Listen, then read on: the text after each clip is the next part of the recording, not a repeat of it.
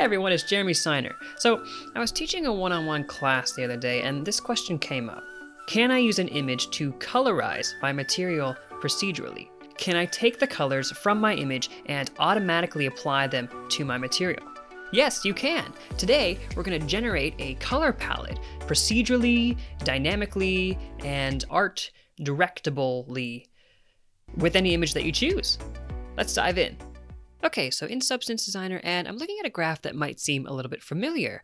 In one of my previous videos, we created this handmade recyclable canvas paper texture. And we did this by creating a bunch of patterns and making this paper background with some creases and did a really cool color gradient thing. And we published one of the parameters that allowed us to select a couple different patterns here.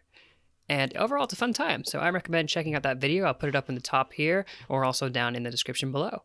So what I'm going to do now is I'm going to remove everything that's connected to the base color. So I'm just going to select each component here. I've got the patterns, delete that, color gradients, delete that, paper color, and this node here. And so now we're just left with our base recyclable canvas texture as our background and nothing in the base color. So what is it that I want to accomplish? Well, I'd like to drag an image into my graph, grab the colors, and have my material automatically take the prominent colors in that image and apply them to my texture. So first off, I want to create or bring in whatever it is that we're going to be colorizing or changing the grayscale values to map to these new colors. So what I'm going to use in this example is a cells 4 noise. So spacebar, cells 4, there it is. And here's what we get with the cells 4 noise. It's important to know that you'll get the best results when you use a pattern that has flat grayscale values. So notice how the cells 4 noise has exactly that. It has clear, flat shapes, no gradients, just flat, separate grayscale colors. To build our color swatch generator, I'm just going to hit spacebar and bring in a gradient linear 1. A simple gradient here, and what I'm going to do is double click it and change the rotation parameter to 90 degrees. So now it's moving left to right in a smooth black to white fashion here in a nice ramp. Next up, I'm going to bring in a quantize grayscale node. And so let's hook up the gradient linear into the quantize grayscale and notice what it's doing here. If I go over to the quantize parameter and change this to 7, We've taken our smooth gradient and we've limited it to seven shades of gray. Now, next up, we need to add a gradient dynamic node. Now, this is the node that does all the magic for us. The gradient dynamic node takes in a grayscale input and remaps its values with the color information found in the gradient input. This means all we need to do is supply the color gradient information for the node to use, and it will remap it to our shades of gray. So I'm going to connect the quantized grayscale into the grayscale input. And now what I need to do is supply the image or bitmap that we're going to use to create our color palette. So I've done a quick Google search here for terrazzo because I know that all these colors are going to be really awesome to pick palettes from. You get a lot of neat, well matching, good colors to go together. I found an example here which I like. So what I'm going to do is I'm going to save this image. And maybe what I'll do is save another one. So let's do this one as well. And so now let's drag in one of our images just by dropping it into our graph. I'm going to choose link resources because I don't want to import it into my file here. Link that. And then after this bitmap, I'm just going to add an HSL node. And this lets me control the hue, saturation, and lightness of this bitmap to give me some further control down the line.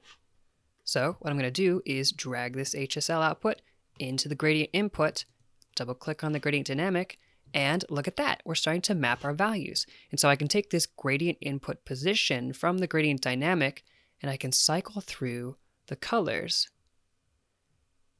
of our input image. And actually, that's, let's see. And that actually looks like a pretty good spot. Boom, we now have a color palette. What's more is I can go into this quantized grayscale node and I can choose how many colors we want to sample.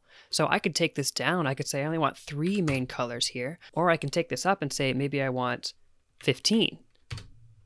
And then I can go back into my gradient dynamic and change the position and say maybe I want all of these colors. So with just a couple of nodes, we've taken our image and mapped it to our palette. Now, all we have to do is apply that color to our texture. So all we need to do is create another gradient dynamic. Let's find our cells noise. I'm going to connect it to the grayscale input and then take this gradient dynamic and put it into the gradient input of our second gradient dynamic. And now we've colorized our pattern. And let me connect this now, this last gradient dynamic, to the base color of our material. And there we go. And so now I have a lot of control here. So I can go to this quantized grayscale and maybe I want to go back to seven shades here. And now we're getting a completely different result from this bitmap image that we've imported. And I can also go into the HSL and I can change the lightness. So I can brighten everything up or I can increase or decrease the saturation. And I can even shift the overall hue. And what's more is we got a couple images here, so I can go back to the images we saved and I can bring in another example. I'll choose link resource again and just connect this one up to the HSL. And we're getting a completely different result here. And then I can go through to my gradient dynamic and change the input position.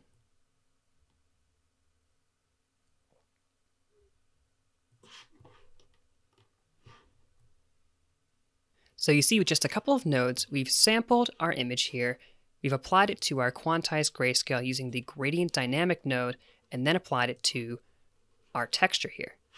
And if you'd like, you can bring in an input. So I'm gonna hit spacebar, and I'm gonna type in input and choose input color. And now you can connect this input color to the HSL. And if I double click on the graph here, you can see we've got our input parameters.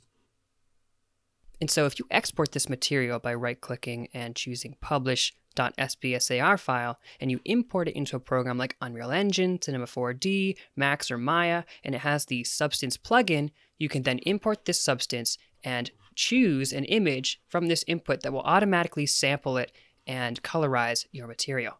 So we started with the pattern that we're going to colorize, and we know it has some flat grayscale values with no gradients. Then we took a gradient linear 1 and we quantized it with the quantized grayscale. We then put that into the gradient dynamic node, the magic gradient dynamic here.